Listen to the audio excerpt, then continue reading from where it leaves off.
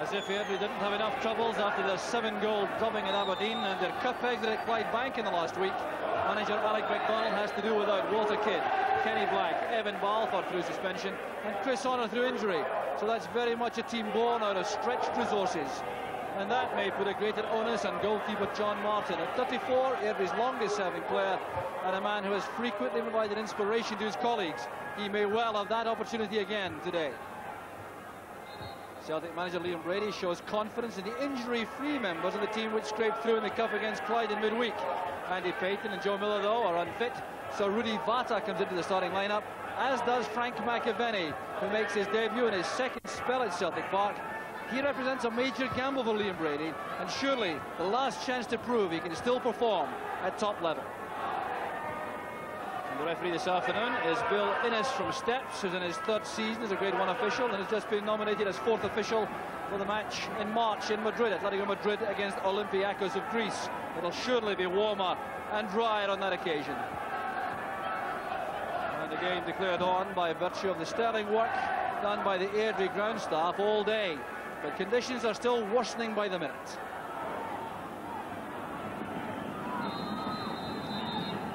Playing surface was scrutinised very carefully on various occasions in the last hour and a half or so by the referee before he was satisfied the game could start. But with heavy rain and sleet continuing, so clearly some concern about the match lasting 90 minutes. Certainly not ideal circumstances for Celtic to attempt to get back in the league rails. Playing in a very tight ground. It's eight yards narrower than Celtic Park and two yards shorter with heavy rain and wind. And an Airdrie team which will be fired up to get back in the rails also without a win in their last seven matches in which they've only scored one goal. So Celtic not the only side struggling in front of goal. Free kick in by Boyd, coming off the head there of Jimmy Sanderson comfortable catch there by John Martin. Jimmy Sanderson clearly not in any way depressed by the conditions.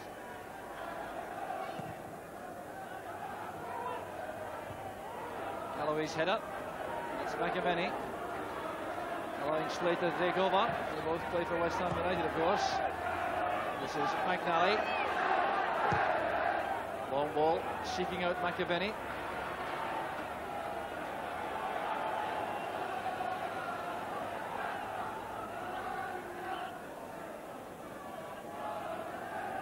Quite content to settle down at the start of the match, uh, well aware of the usual blistering start from Celtic at the beginning of a match. Ball skidding away to Coyne, hit the first chance of the match. Excellent goalkeeping. Well, the conditions clearly fooled Caesar and allowed Coyne to go in behind him with that attempt on goal. Martin in full stretch. Right off for Caesar. Plenty of time and space here for Mark McNally. He's 21 years old.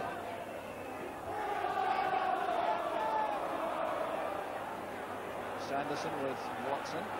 Watson wearing nine, but playing in central defence as one of the markers.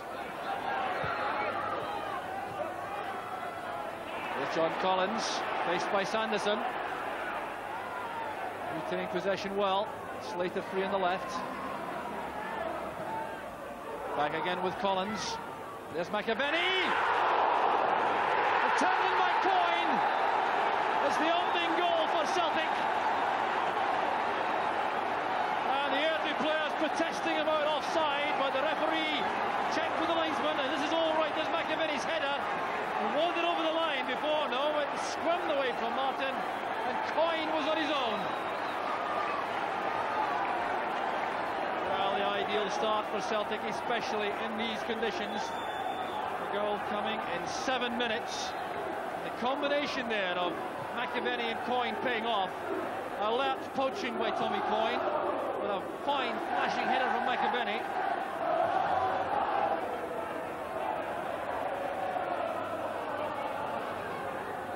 Sanderson lofts it forward looking for Owen Coyle. He's away from Gillespie. Was he held? The referee says so, yes. McNally provided the cover, but Coyle did well. Turning there away from Gillespie. He certainly appeared to be held in that manoeuvre. Well, Gary Gillespie wasn't happy about this decision, but I reckon it was all right. And that deflection almost gave Airdrie the equaliser. It's a corner kick. Disappointment there for Coyle. Coyle gets the ball at the second attempt, but still can't find a teammate. Good play from midfield involving Slater and McAvennie. Vata did well. This is McNally.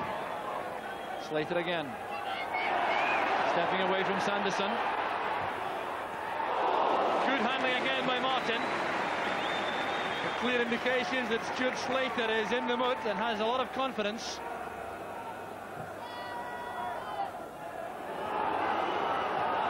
Galloway has to be careful here with Lawrence.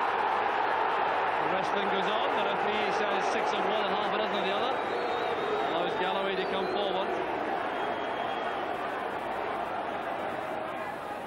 Trying the one-two with McAvennie. This is Collins.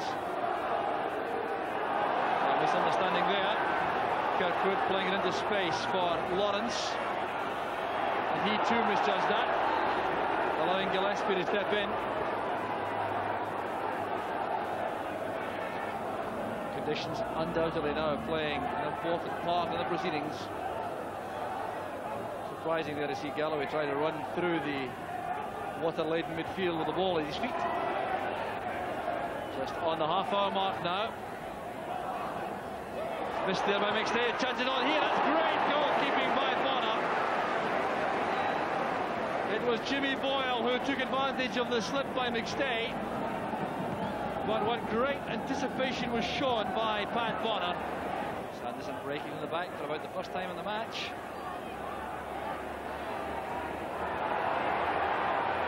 Well, it's hectic in there. I don't think keeping a close eye on things. Still saw nothing amiss with all these hefty challenges. Here comes Coyne. Martin's in trouble.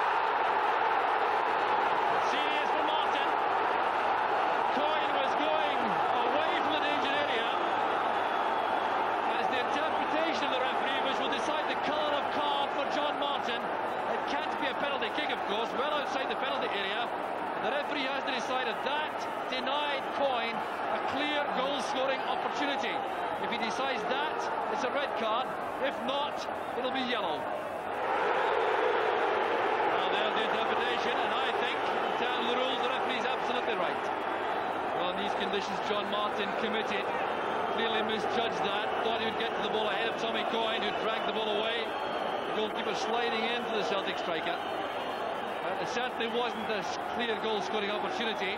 Had Coyne stayed on his feet, he still had a great deal to do an interpretation which will relieve John Martin, and certainly one I think is, is perfectly justified. Still danger though for Airdrie. McAvennie. Well, comfortably taken there by Martin, who's taking some abuse from the Celtic supporters at that end of the field.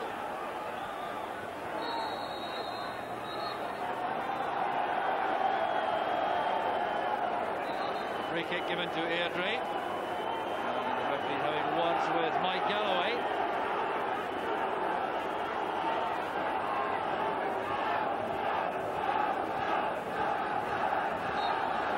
Sanderson's free kick. Led into the feet of Owen Coyle. It was well challenged by Boyd. Here's Caesar.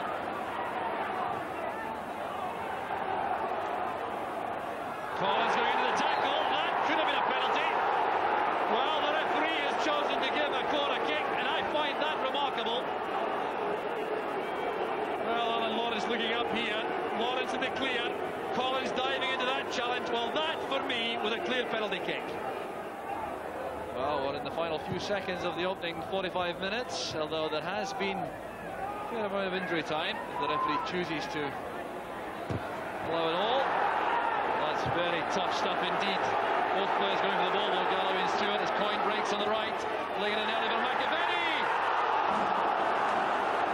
And a dream start from McAvennie, denied by the mud in front of goal. Coyne gave him a golden opportunity.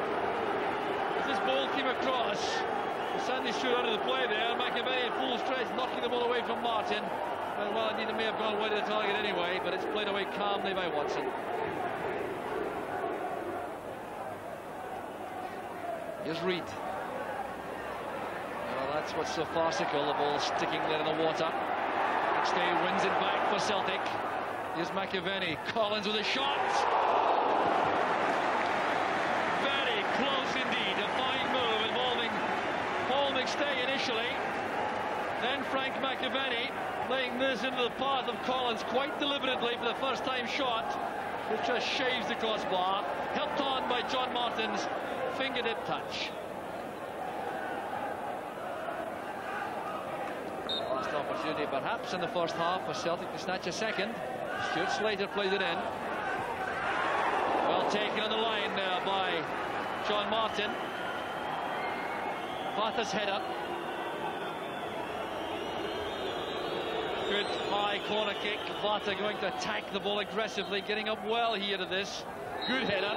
Well taken by Martin. And indeed it was the last attack of the first half, which has been much more entertaining than I think we were entitled to expect in these dreadful circumstances as far as playing conditions are concerned. And for Tommy Coyne, another moment to remember came after just seven minutes.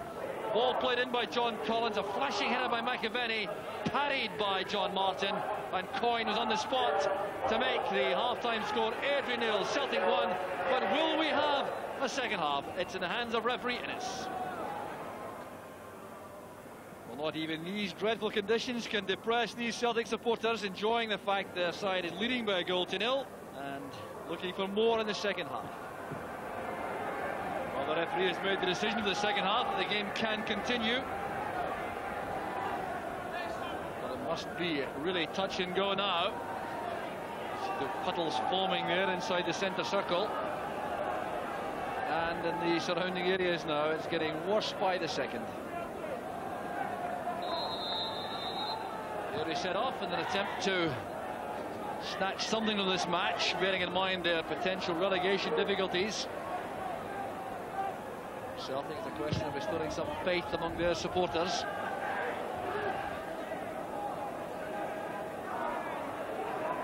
Here's David Kirkwood.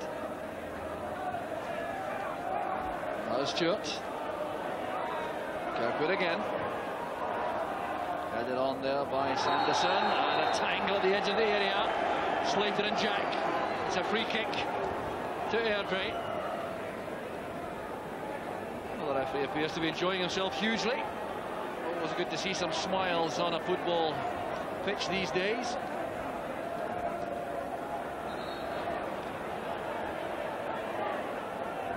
Paul McStay in the end of the wall, lining it up with Pat Bonner. Referee ensuring the wall retreats enough.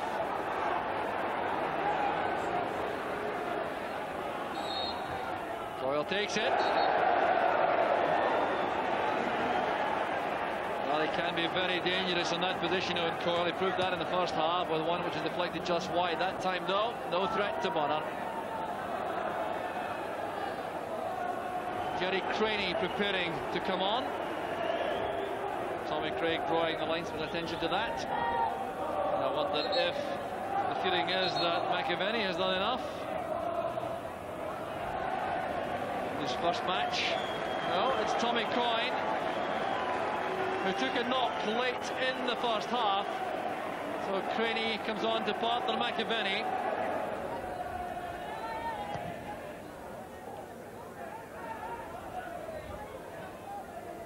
Good control from McAvennie. Denied any space by Stewart, but an illegal challenge in the eyes of the referee, so a free kick to Celtic. McNally with a free kick. Creaney goes in. Well, the referee gives a free kick to Airdrie, and he's going to take action against Gerry Creaney. Well, let's see why, because Mark McNally sent over a very good free kick, a tempting ball as Martin was underneath it.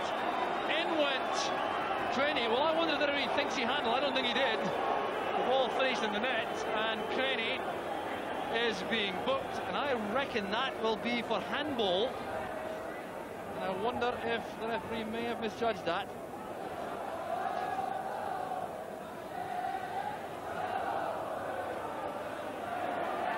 Smith going in behind McNally. Stepping inside Gillespie. It's good play. That was well hit. and Spilled out from Bonner.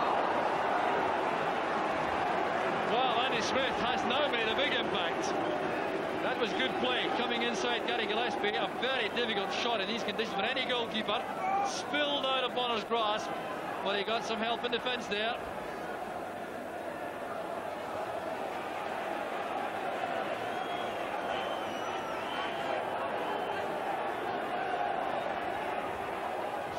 corner kick. And the header was on target all right. It came Jack once again. Bonner had his body behind it though.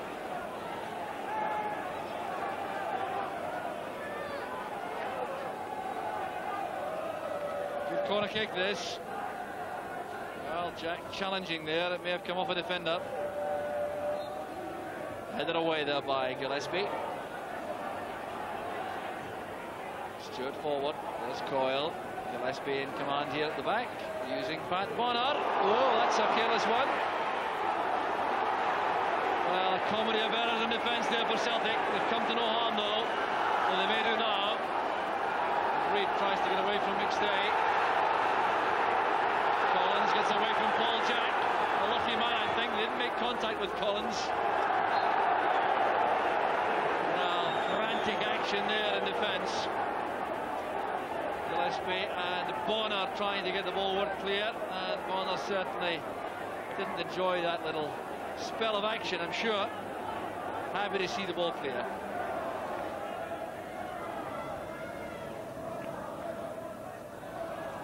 Here's Vata. McStay breaks in the right. Playing it early this time for McAvennie the chance is on for Slater who would believe it well, chances just cannot come any better than that. And Stuart Slater, who's only scored once for Celtic, had a great chance here. The ball skids away from John Martin, and he couldn't get it inside the post. Frustration for Stuart Slater. No luck in front of goal. Paul McStay. That's for Slater again, trying to knock that in behind Paul Jack, who was quick enough in the recovery.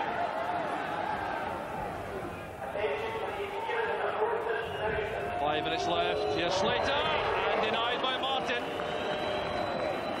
Took up good position there, stolen the blind side, Slater. Right on the near post to get that touch on goal.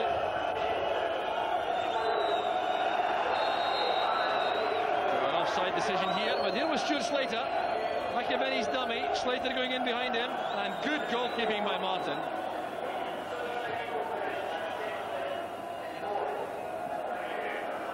holding up again. That's Jack. Dummy by Kirkwood. There's Coyle. Coyle again. Andy Smith had to control that quickly. Good recovery work by Boyd. Had a chance there, Smith. Had he been able to control that swiftly. Get a shot on target. Headed away. Reaches Caesar. Blocked by Slater. Counter-attack, Celtic. Well, this is nonsense now. Unable to bring the ball through that heavy patch in the ground. Caesar forward and an offside flag up.